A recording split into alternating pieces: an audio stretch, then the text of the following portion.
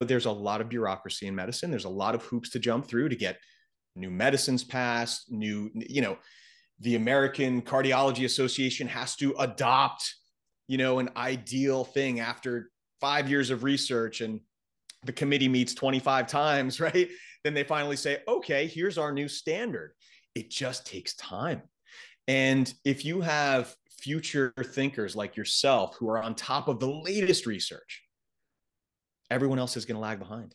You know, the good news is, hey, wait, this is actually really good news. I think this is actually awesome. Is you are less bound than a, a medical physician is because my practice has to reflect what's accepted in the medical community or I can get into trouble, which is frustrating. I mean, imagine how frustrating that is. You know, I have to tell people what the guidelines of the FDA and the DEA and the American Psychiatric Association and the American Family Medicine Association deem appropriate after the research has been reviewed, which again, super old. I'm bound to that. And if I say, hey, I just read this awesome article about this newfangled thing, and I tell a patient that, you know, I don't know, is that ethical practice?